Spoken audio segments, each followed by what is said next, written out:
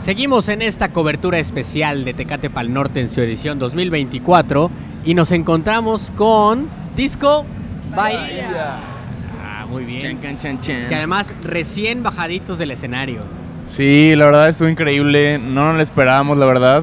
Este, creíamos que era un horario muy temprano, pero la neta se acercó un chingo de gente y fue una locura. ¿Qué? Sí. Pregunto eso como, supongo que significa una gran responsabilidad estar en un, en un horario tan temprano, pero además sabemos que el Pal Norte hay gente desde muy, muy temprano. Sí, como que la gente nos decía mucho eso, de que no se angustien, o sea, la banda sí llega temprano. Y pues la verdad jugó mucho a nuestro favor que tocamos en el club social que tiene techito, entonces creo que varias gente se resguardó ahí del calor. Sí, Estamos como a 35 grados o algo Sí. así. sí lo notamos. ¿Y cómo se preparan para un momento como este, para llegar al Festival Pal Norte? ¿Cómo, cómo es la preparación? Pues sí, nos avisaron hace como, como ocho meses y sí, para empezar no nos la creíamos. No fue con, nah, nah, neta.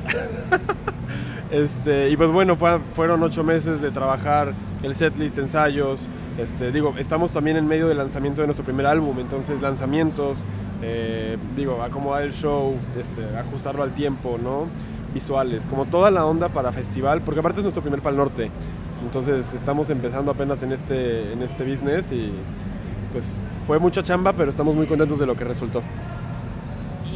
Bueno, ya mencionaron que están preparando su primer material, su primer álbum. Eh, y, y qué viene de- con el álbum? ¿Qué, qué vamos, ¿Qué podemos ver? ¿Quién quiere? Pues va a haber unas colaboraciones este, que ya después les revelaremos. Y pues lo vamos a ¿Alguien estrenar. por ahí? ¿Quién? ¿Quién? Ah, después. Y pues lo vamos a presentar en el lunario del Auditorio Nacional, del Auditorio 13, Nacional. de, 13 de noviembre. El 13 de noviembre, En vivo. la fecha. Disco Bahía. Ahí va a estar. ¿Todavía ya tenemos nombre del álbum al menos? Sí, el álbum se llama Paradisco. Para disco. Ajá. Ah, perfecto, perfecto. Me parece, me parece muy bien. Y a ver, esto, no sé si quieren responder a todos o a alguien, pero si en este momento yo tomara su plataforma de reproducción de música de streaming favorita, ¿qué encuentro en su portada? Así que es lo que más suena hoy.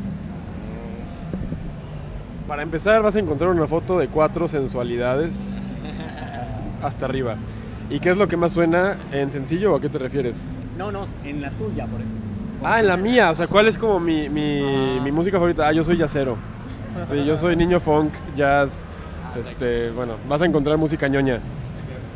Algo así. Eh, yo creo que variado. Comparto el Spotify y por comparto digo me robo el Spotify de Pablo. Entonces hay ahí pues una mezcla de todo un poco. Pero mucha música en español. Para mí es una mezcla de todo. O sea, puedo escuchar desde Juan Gabriel hasta un metal a cambio pesadón, hasta un cierreño, corridos tumbados, pop en español, pop en inglés, funk, jazz. Me gusta irle cambiando a lo que, a lo que sea. Yo de todo un poco, pero quizás más, eh, sí, pop indie, eh, mexicano, latinoamericano en general. Solo quedas tú. Sí, yo también igual, un poco de todo, pero también me, me fascina el indie mexicano. Y también, pues, Jungle, Emperatriz, toda, toda esa olita de, de europeos de Londres y Francia está muy chido. Órale, órale, qué chido. Pues, ¿algo más que quieran agregar? ¿Cuándo los vemos en Puebla? Nosotros venimos de Puebla, los esperamos ver por allá muy pronto, muy, muy pronto. No, Ay, entonces invítenos, invítenos a Puebla. Porque sí.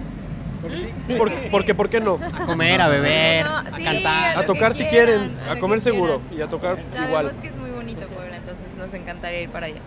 Bueno, bueno, por allá nos vemos. Pues seguimos aquí en la cobertura especial de Tecate Pal Norte con Disco Bahía.